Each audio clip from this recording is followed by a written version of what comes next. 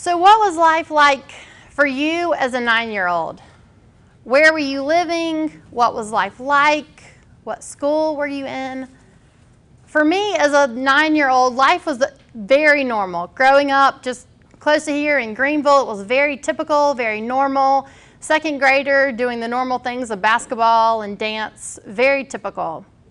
And one day, my parents started to notice, huh, she's getting a little bit close to the TV you're a little bit close to things, reading books, holding print a little bit closer. So we're just going to take her to the doctor and get a pair of glasses and be on our way. So my parents made a doctor's appointment for me and we went to the pediatric ophthalmologist and it was a typical day. I remember sitting there in the waiting room thinking, oh, this will be no big deal. I'll get a cute pair of glasses and be cool and go back to school and show everybody.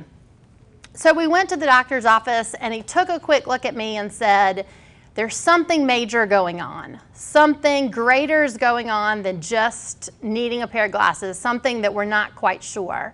So we need to investigate this a little more. I need to send you to some specialists. So that led to, in between my second and third grade year, that led to a summer of doctor's appointments. I went to places all over the country, ended up at Emory, took um, endless amounts of blood, and trying to figure out what is going on. Finally, it was diagnosed as um, macular degeneration, which is typically in older adults, but so it was rare for me as a nine-year-old. My vision was decreasing to the point where I was losing center vision, but had peripheral sight. And it was unknown at what rate it would decrease. They knew it would definitely decrease, but not how much it would decrease. Obviously, as a nine-year-old, I didn't internalize what all that meant. I still continued to play basketball and dance and go to school and do everything normal. Life, life was not affected at all. Then fast forward to about three years later, I was about 13 in high school and middle school, and reading textbooks, holding them up to my face, no matter how close I got them, no matter how big we did the font, I was not able to read print anymore. So that's when the realization of, wait, life is changing. This really is affecting my life. This really is affecting the way that I'm interacting with people. I'm having to learn Braille. One day I would sit in a classroom, you know, literally reading See Spot Run, and then I'd walk across the hall and try to do algebra in Braille. So it was such a disconnect of learning Braille and adapting to life with limited sight, and yet trying to keep up with the regular routines of life, trying to keep up with people my age, with curriculum in school. So that's when emotionally I started to realize wait a minute, my friends are gaining independence, they're moving forward, and I feel like I'm going backwards. I feel like I'm losing independence and they are gaining it. And I hated it. So, as typically we do in grief, when we're grieving any type of loss, the first step is denial. So I was in denial.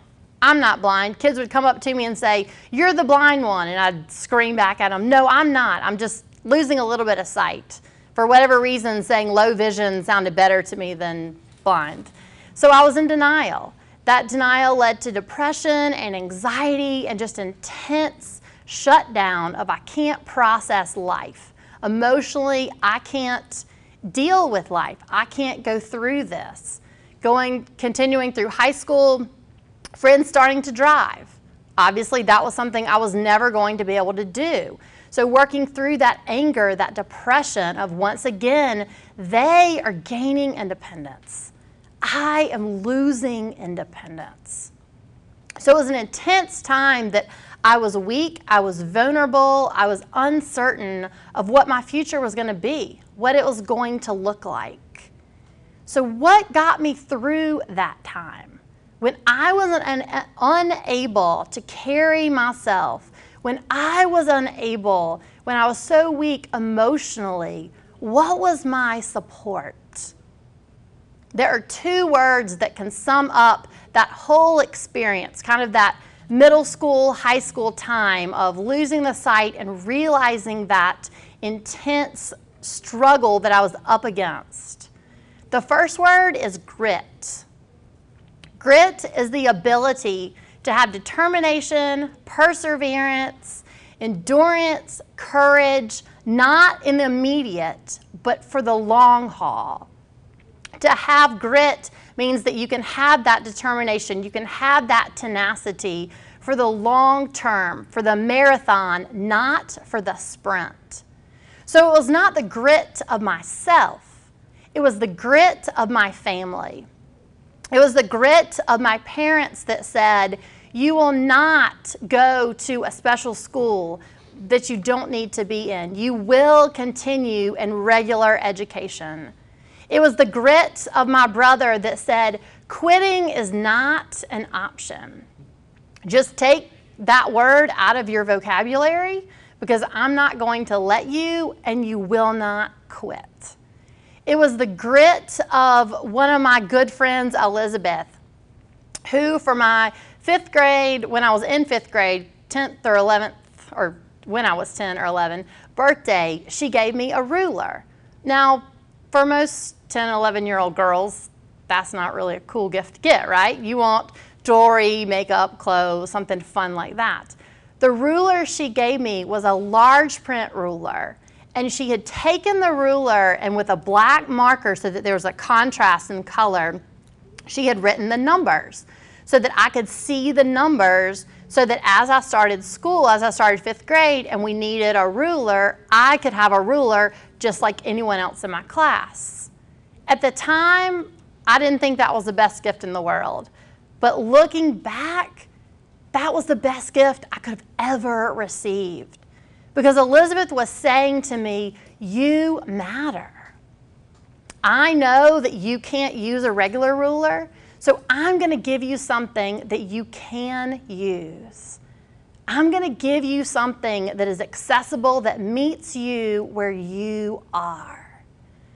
And what is the other word? Grit is the first word that got me through that incredibly difficult time. And the second word is gratitude. Not just, oh, thanks for this or that, but deep appreciation, deep gratitude that in the midst of the trauma, in the midst of the struggle, in the midst of trying to figure out how in the world will I adapt to life without sight, there was people around me there was close friends and family, complete strangers that supported me, that encouraged me, that gave me the hope to continue forward. So it was the grits and the gratitude of other people, other people around me that held me when I could not hold myself. So for you, for each of you as entrepreneurs, as people with new ideas, new projects, as you are sitting here tonight, think about the grit. Reflect back. What is the grit that has gotten you to this point? Who have been those people? Who have been those situations that have given you that determination, that perseverance, that you chose to come and take this class week in and week out? Who has been your grit to this point?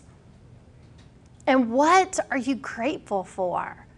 What are you grateful for that has gotten you here? That has allowed the opportunity, that the situation presented itself that you could be here in this place? What are you grateful for to this point in your entrepreneurship? in this point of your journey. So there's that time where there's grits and gratitude of other people that hold us, that carry us through. And then there also becomes that point where we have to accept the grits and the gratitude for ourselves. So I received my first guide dog in between um, finishing high school and starting college. It was also a female black lab, and I got her from a school in California. So the training is for a month. You go, you live at guide dog school in their campus, and you train with the dog and with the trainer. So uh, through the course of that month, you are fully trained so that by, by the time you leave, you are a guide dog team. So I received this black lab. I was confident, but yet still fearful. Did I make the right decision? Is this really the right thing to do? And it was about week three of training. And each day the training gets harder and harder, it gets more advanced. So it's week three, we're in San Francisco, we're standing in the middle of the business district at 8 o'clock in the morning, which is a little busy place. And we're sitting there, and it's March, and it's dreary, and it's cold, and it's misty. And I'm standing there with my guide dog, and the trainer says, Here's the route that you have to walk. I will be a block behind you so I can see you, but you can't ask me any help. If you need help, if emergency happens, I'll be here, but otherwise, pretend like I'm not here. So, being my confident 18 year old self with this new little dog, I thought, this will be a no-brainer. This will be incredibly easy. So we started off and the first block was very normal and no, no problems, no issues, and I was gaining even more confidence. And we get to the first intersection, and I listen for the flow of traffic, and when I know it's safe to cross the street, I tell my guide dog forward, and she takes a step out onto the curb, and which obviously I follow her, so take another step back on the curb, and as soon as my, hit, my foot hit the pavement, she hopped back up on the sidewalk, which, because of the way I hold the harness, jerked me back up on the sidewalk. So then I jumped back up on the curb, and as soon as I did, a car went right where I was standing. I could see well enough at that point to see it was a red car went by right where I was standing in that exact spot. Clearly, I started shaking. I was thankful and scared all at the same time. And the trainer came up to me and I said, What did I do wrong? What, what was the situation?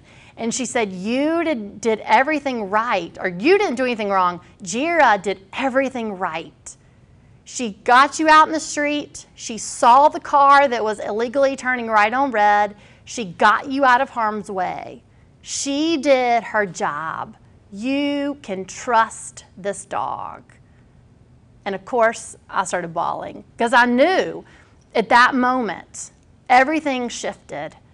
I could trust this dog. I could trust this dog to physically help me navigate whatever challenges were before us.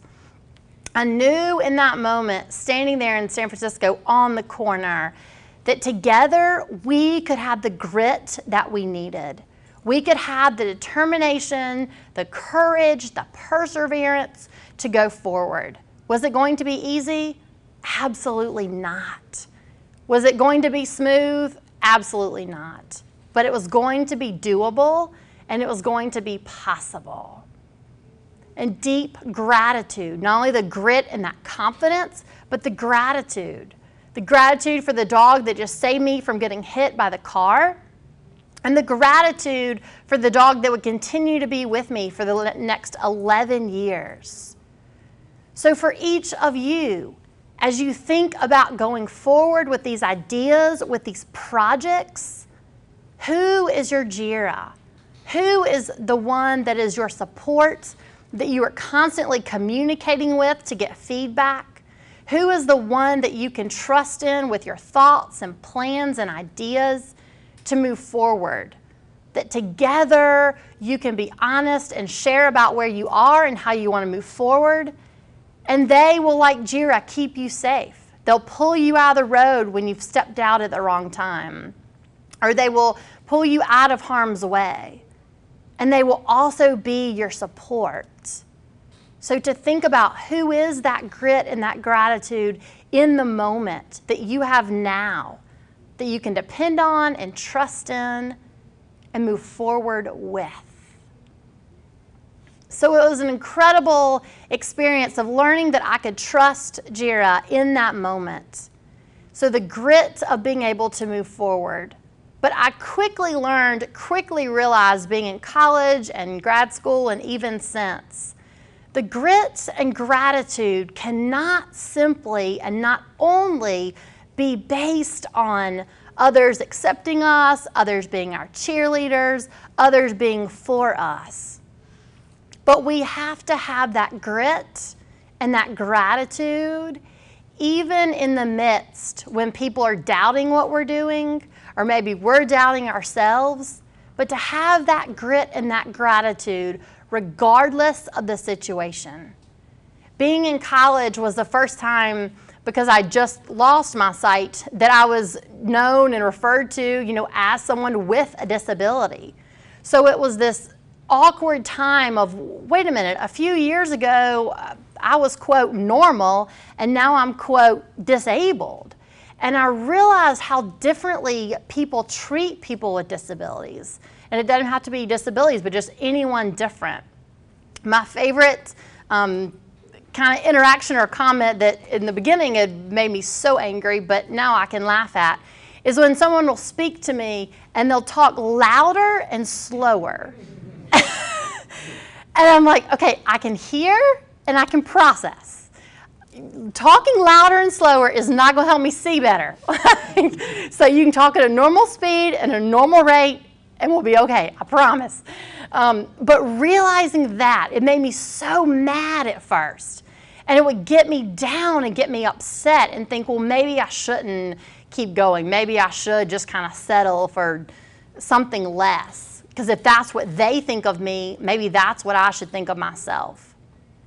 But then through the grit and the gratitude, realizing I can't base my determination, my courage, my perseverance on how others respond to me. I have to have that determination and confidence and courage in the midst of how they treat me, in the midst of how they respond. So, for each of us, as you think about your projects, your new ideas moving forward, as you get negative feedback, as you get pushback, as people say that's not a good idea, that's not a good plan, the timing's not right, how to hold the grit and gratitude in balance. How to receive it, but then to also to not let that derail you, to let that still be your courage and confidence that you're able to move forward with. In the midst of people thinking that you shouldn't or that it's a horrible idea or bad situation. So the grit and the gratitude of others, the grit and gratitude of ourselves, and the grit and the gratitude of regardless of the situation, having it despite what people say or how people respond. And also the grit and the gratitude of using your gifts and your unique situation. So, after finishing grad school, I wanted to be a hospital chaplain. So, you have to do a hospital residency for a year. So I did my residency at the Cleveland Clinic. And that was a time of incredible experiences. I could spend all night telling just all kind of different stories that I experienced and, and people I met. Few stories that stand out that I want to share. And the first was when I went to see a patient, Sandy. I was doing normal rounds on one of my adult units, and the nurse at the nurse station said, do you have time to go see Sandy? I know you haven't seen her before. She hasn't requested a visit from a chaplain, but I would love for you to go see her. And I said, sure. So she said, let me take you in a room. So we walked in the room and she said, you told me a little bit about Sandy's condition. And she said, we're standing at Sandy's bedside at this point. And she said, no, Sandy's on a ventilator today. And I thought, hmm, Okay, this is going to be interesting. So she said, Yeah, since she's on a ventilator and can't talk, Sandy writes out everything she wants to say to people. And I thought, hmm, okay, this is going to be, they didn't train us for this in school. so she says, Okay, y'all have a nice visit. And she walks out the room. So I think, okay, I got to think quick on my feet. Sandy can't talk. Sandy writes. I can't read her writing, obviously. How are we going to communicate? Clearly, I couldn't turn and run out of the room, which is what I wanted to do. Um, so I just acknowledged the situation. I just said, you know, Sandy, obviously you're on a ventilator, you can't speak. I understand that you communicate with people by writing. Unfortunately, I can't see your writing. So we're going to come up with another way to communicate. Um, so I held her hand and said, I'm going to ask you some yes no questions and, you know, one, I don't remember what I did. One squeeze is yes and two squeezes no. So that's what we did. I would ask her, how's she feeling? Do you even want me in your room? um, just different yes, no questions that I could ask her. So we went through that and she she was able to do that and then I just said, "Sandy, can I just sit here with you?" Obviously, we can't communicate through words, but can we communicate just through our very presence? I know you're going through an incredible, stressful time. Can I just sit here with you? And so she said yes. And so I just sat in her room for a few minutes, just with her, just physically being with her. We weren't talking, we weren't interacting, we were just there. And so then after a few minutes, I asked her if I could pray, and then we prayed, and then we left. The next day, I came back to see Sandy, and she was off her ventilator. And so we were able to talk and have a deeper conversation. And yet, in that moment, I was scared to death. I was nervous. I was fearful. How in the world my disability is getting in the way? How am I going to interact with her? And yet, it was. She shared with me that it was one of the most powerful visits that she had had, just because she didn't have words. She just needed someone to be physically present there with her. So, where I was looking at my situation as a negative, as a bad thing, to her, it was an incredible gift that I wasn't just talking at her. So, for you to think about what are my unique gifts that I bring to my project, to my idea, to my current work, as I develop this new plan, what are the unique gifts and talents that I specifically have or that I specifically bring. Another encounter that I had that was incredibly powerful was I was called up to a pediatric cardiology unit. And they said, you know, her parents have tried to work with this individual. The nurses have tried to work with her. The doctors have tried to work with her. She won't listen to anyone. We need, you know, see if you can do anything. So she didn't want a chaplain, so I thought, okay, this strike one going in. So I walked into the room and I introduced myself as the chaplain. And her specific situation was an eating disorder. And it was so severe at this point that she was having heart complications. So it was a very severe situation. So in walks the chaplain to someone with an eating disorder who cannot physically see her. So I walk into the room, I tell her who I am, and her first words out of her mouth is, Wait, you can't physically see me? And I said, No. And she said, Okay, you can stay then. so everyone else in the room left, and I put up a chair and had a, about a 30 minute hour conversation that was very powerful with her and started, opened up a lot of conversations that she was not willing to have with other people because of her weight issues, because of the focus on her physical appearance. So, with knowing that I was not focused or distracted or was not going to bring up how she physically appeared, she was willing to open up to talk about it. So, we were able to go to a deeper level. So, again, what I perceived as harmful or negative, it was a gift to her. It was a unique perspective that I brought to the situation. So to be willing to think outside the box, to think, how can I use who I am?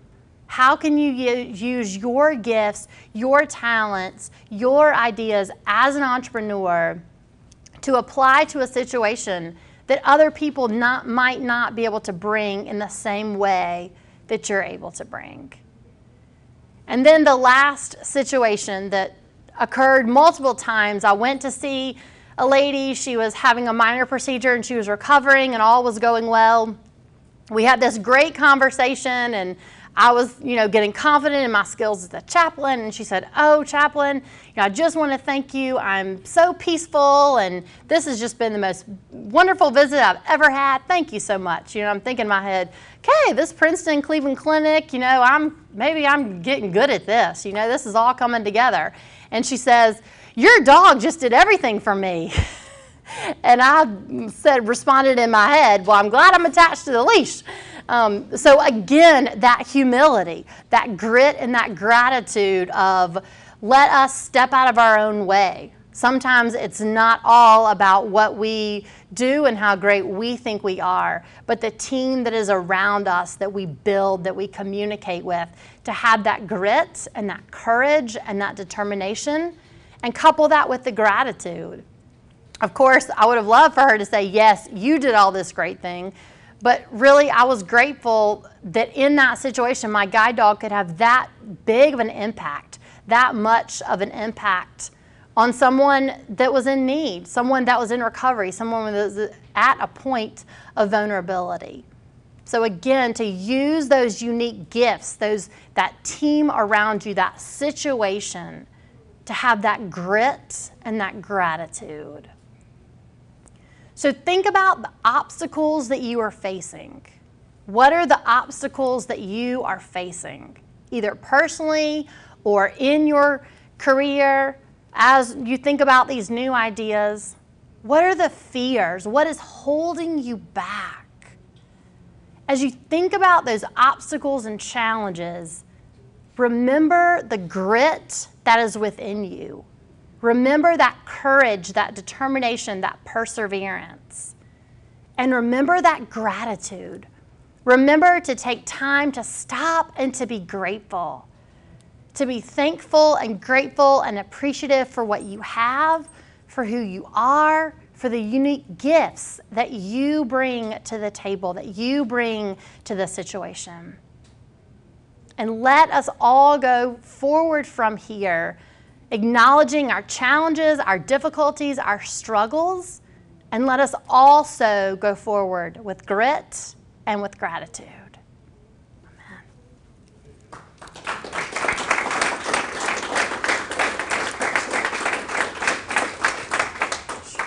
Oh, and obviously for questions. Um, only one requirement about questions don't raise your hand. You're not allowed. Shout them out because you'll be sitting here for a long time if you raise your hand. Dr. Laura, I yes. you're writing a book. Yes. Can you tell us about that?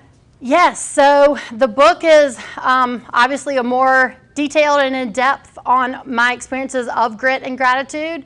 So just more stories and reflections on um, just the vulnerability and the struggles and working through just the identity, accept, you know, the grief process um, of denial, depression, and then acceptance, accepting who I am and the reality. So about adjusting to a new normal. So just all weaving in grit and gratitude for the past and the future. Yeah. How long did it take you to move from your physical eyes to the eyes in your heart, which obviously you see very well with now? Ooh, that's a great question. My first answer to that is it is an ongoing process. I, I, can't, there's not one moment where I said, okay, I fully accept this and we're just going to go forward. It was a process of beginning to work with counselors, um, getting the help that I needed to process through the grief, the loss, to feel that pain, to feel that trauma and then to also to move forward to realize that it's okay to move forward that i can move forward that being different is not fun but it's doable so i would definitely the, to answer that question it is a it is a process that started in high school and is continuing and will continue great great question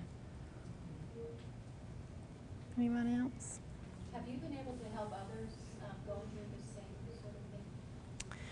Yes, it is um, pretty rare that people lose their sight at a young age. So there's not very many of us that is, is not a large, I mean, the blindness population is very small to begin with.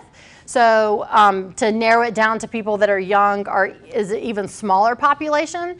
Um, so it, no, it hasn't necessarily been people my age who have lost their sight, but I've interacted, I'm working with an adult right now who's in his 50s and um, is losing his sight. So again, it's not necessarily they're my age, but just going through that process of losing sight. Yeah, yeah, and that's, that's hard. How do you keep up with that church? That, that gets me. Good question. Um, again, that day day to day process. If I if I take it in long strides all at once, it's overwhelming. It seems like it can't be done. Um, but just breaking it down step by step, prioritizing and moving forward. How what what can I do? What's on the task for today, for tomorrow, for this week, for this month, for this quarter? So breaking it down and um, and obviously it gets easier with experience as I do it more. Yeah. When- you decided after going to Arizona State that you wanted to go to New Jersey and to uh, Princeton, were people, were people at, uh, in Greenville, talk you out of it? or Oh, yeah. they- That was a great idea, they? Oh yeah, definitely talking me out of it. Don't go so far away. Yeah. Yeah, definitely, absolutely. That's that's a big part of it. Yeah. Laura, I'm a, I'm a fellow Sun Devil, so uh, it's good to- Awesome! Yeah. Wow, there's like two of us in the southeast.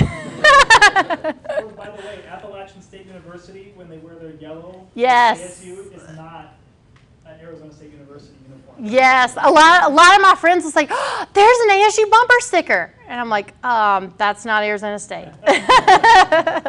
Um, I wanted to ask you, what, what do you find, what would you call the, the, the most frustrating thing that you, that you haven't been able to overcome yet? What, do, what are your current challenges? Clearly, there's a lot of things you've overcome Yeah. to this point, but what, what are the, are there, are there new challenges that Yeah. themselves, um, you know, that, that are currently frustrating for you? Yes, that, that is a great question. And a mentor of mine said something to me when I was in college. She was my um, disability coordinator.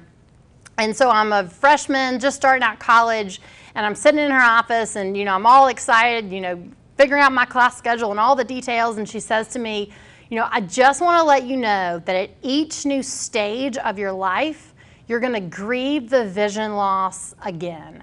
This is not, you've initially grieved it, you've done the initial hard work, but it is a process that will continue for the rest of your life. As you get to each new stage, each new point, you're going to grieve it because you're having to do this stage, this process differently.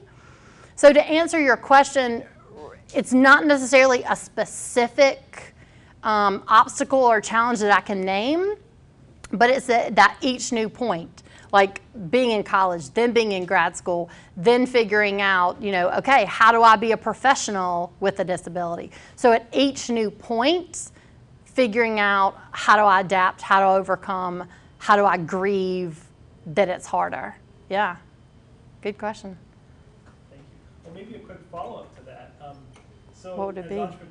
We have this, there's this challenge always of, um, you know, trying to know where the limits are. And Yeah. So, you know, I, I know that in, in my case, sometimes you, you ask yourself the question, okay, wh- when is, when am I finally done? right right When is it really? When's when it enough? Something that I can actually overcome. yes So uh, how do you kind of, um, how do you kind of Balance. your way out with that? Yeah. How do you know when, when this is something you're not going to be able to overcome? Right. When, when you can actually use the grit to get use over exactly that to keep those in balance and my answer to that is having the closed circle of family and friends around you those people that you trust the most to be completely honest with you and who will tell me laura you're trying too hard or you're trying or sometimes i'll try to do things on my own rather than asking for help and it would have been much easier and saved a lot of time and energy if i just asked for the help but i'm too stubborn to do that.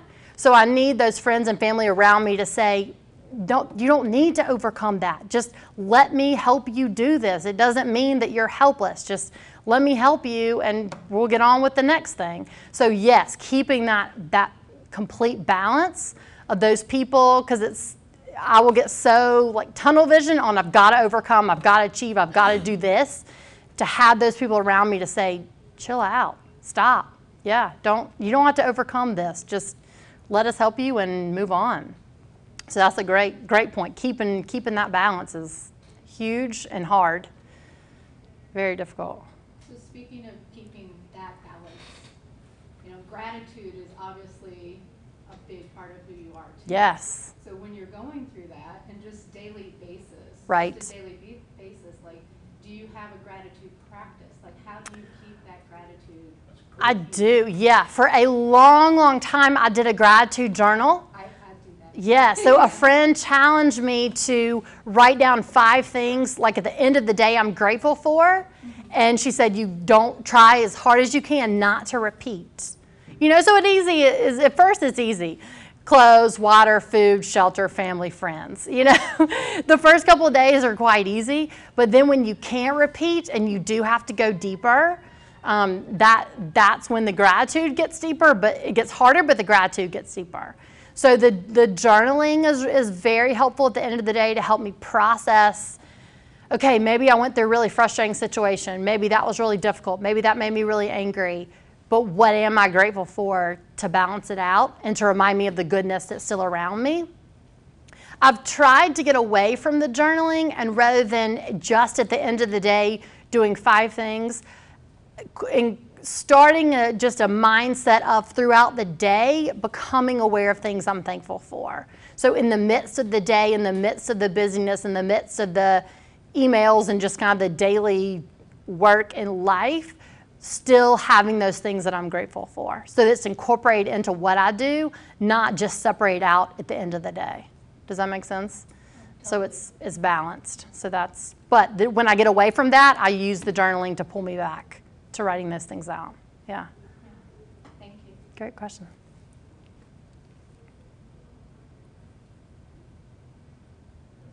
Any others? Good? have a second question. Okay. Um, So so what technology out there helps you the most? Um, there's a commercial for Apple. um, Apple, Apple, Apple. They have been incredible about people adapting for people with disabilities. So um, Apple is actually the only product that I can go, the only product line that I can go and buy something and take it out of the box and start using it right away like anyone else would. So they have built in, rather than it being a separate software, they have built in uh, um, screen readers to their iPhones, iPads, computers, everything they have.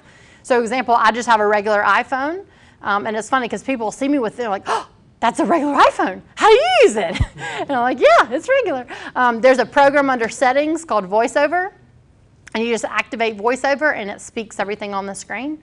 So the same with my with my laptop, my MacBook, it just it reads everything on the screen. Um, so technology has been incredible as that increases. And when I think back now to even college, when I couldn't text, or I didn't have the voice, you know, the voiceover software to text, I think, how did I live? How did I do that? So yeah, so it's all text to speech, and then I type just like normal, the regular keyboard, um, and then it speaks to me as I type. So it'll after I type a word, it'll say the word, so then I know if it's correct or not. So it's all, yeah, technology's been amazing and such a gift to people with disability. Not and not just my disability, but all so many other disabilities. It's been a gift. You, you also have such a great sense of humor, and um, that seems to serve you pretty well. Yeah. At first, I was so serious about it and so I can't joke about it. I can't laugh about it, you know, especially in those first years because I was still working through the process. But then I learned just how healing it is just to be able to laugh at yourself, laugh at the situations, and keep going. Um, it- that it's key again, like uh, mentioned earlier, with that balance of kind of when to stop the overcoming, how to have that balance of humor, not to the point where you're being sarcastic and laughing over every word you say, but to have that humor in there to balance out the seriousness, the just the the trauma of it. Yeah. I've I've got a question, and I'm having a very hard time even formulating how to say it, because it's something that's very personal, so don't feel obligated, um, Okay. to go into depth. Yeah. And just to, uh, preface it a little bit, I, I come from a faith background, Uh huh. and, um, and I also run a nonprofit that specifically, um, works with individuals that are dealing with, um, difficulties as a result of, uh, military service, so it's a Yeah. organization. Um, in terms of the disability, um, from a faith standpoint. Yeah. Is, is there ever times, or, again, it's difficult for me to try to formulate it, but in terms of just the grief, uh, processing through the idea that Yes. God allowed that to happen. Right. Faith component attached to it. Yes, that's talk number two. Absolutely, but I'll be brief. Yeah, so my whole relationship with God when I first lost my sight was I can't. I can't, I can't, I can't. It wasn't, why have you done this to me? It was just, I can't. This is too much. I don't want to live life without sight. So I'm just letting you know, God of the universe, I can't. Well, that's never a good thing to say. um, that didn't last very long. And what I realized is I was right. I couldn't do life fighting and telling God that I couldn't, but I realized that I could do life as I tapped into that spiritual strength, as I tapped into my higher power that is around us and around the creation, and use that as a positive force to give me momentum, to give me that grit to go forward, then I could. So yes, so all those questions of I can't, and all the you know the biblical stories of the people that were instantly healed, they put mud on their eyes and opened their eyes and they could see. You know, um, I called a friend one night just sobbing in in high school and said, "Okay, you have to give me this answer." And she's like, "Okay, what?" And I said, "You know, why am I not like one of those people in the Bible?" And she gave me the best answer she could have ever gave me. She just started sobbing and said, "I don't know." And was, I didn't need an answer in that moment. I just needed someone to hear me and sit with me in the pain. Yeah, so I've done a lot of lectures on um, when the healing doesn't come and looking at the, the actual cure versus healing and the, the difference between being physically cured to receive my sight, but then the inner healing that I have received. Absolutely. And just that whole identity piece that I'm not different in God's perspective, that in the higher power perspective, I'm not labeled different than anyone else. Incredibly healing. Yeah, good question. Great question. Laura, uh, we're, we're entrepreneurs, all of us here. Tammy's been on the phone trying to make money the whole way up the mountain. Uh, Done deals. I mean, we're entrepreneurs, you're an What's, what, as you grow your business, which this, which you are an entrepreneur now, you are, you're, Yeah, you, the speaking business, the book business, the, te- you know, yeah. what, what are some of the difficulties somebody like you, who has all this built-in grit and gratitude, what's it feel, what are, what are the moments where you're going, uh, whoa, you know? Because if I get it, I know you get it. I think the fear of the, the criticism what will others say? What will others think? I'm already even now the book's not even published. I'm already you know running through the tapes in my head of what people in the, the blindness communities are going to say you know? I'm already going through how they're going to judge me what they're going to say. So the criticism i think uh, just from the other people with disabilities um, and the criticism just just from others yeah Uh, if i could name my fear and that's the struggle as i write the book is just that vulnerability of being able to write it and stand on it and and know that yes i will receive criticism and yes it'll still touch a lot of people. So it's going to be that both and and be be prepared for that and not shy away from that but just lean into that Well, that good? Um, Yeah, we're, yeah. All right, well, we're gonna All go right. back down the mountain. all right thank you